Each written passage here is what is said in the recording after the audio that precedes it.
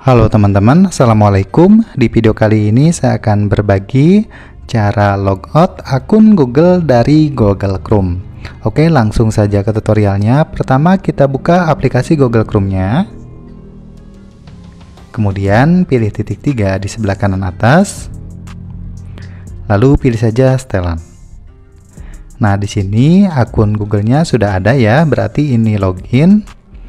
Ini akun Google-nya Tutorial. Nah, untuk uh, logout akun Google ini, pilih saja di bagian akun Google-nya. Scroll ke bawah. Lalu di sini kalian pilih saja logout dan nonaktifkan sinkronisasi. Kita pilih. Di sini ada keterangan. Kalian klik saja lanjutkan. Nah, sekarang sudah uh, logout ya, berhasil logout. Kita kembali, kita lihat di bagian depan. Di sini juga sudah tidak ada icon dari akun Google kita. Oke, teman-teman ya, itu dia tutorialnya. Mudah-mudahan video ini bermanfaat.